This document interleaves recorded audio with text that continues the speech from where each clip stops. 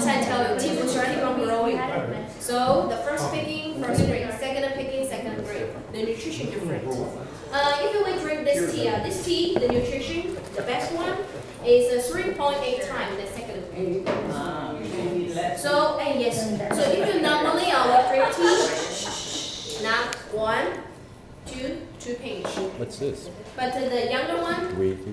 One pinch. We One put it orange, teaspoon enough. right orange. We use less, but we get more. This, that's the orange. So this Oh, does it go in the tea? in China, This the local the people like the expensive tea. purple. We pay more time, uh, pay more money in one time, but uh, every day just a little pinch.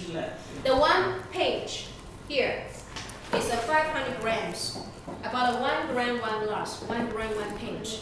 So we can make about 500 cups. And each cup five times refill, right? Uh, do you remember? Five times after meal, after meal. Okay. Okay. Uh, so five times refill, so that means 2,500 times we can drink tea.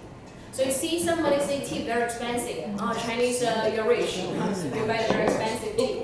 But uh, every day, with just the cost about two yuan, three yuan, Chinese money, about two five point five yuan. Your money is like uh, 40 cents. Okay, but uh, we we can refill five.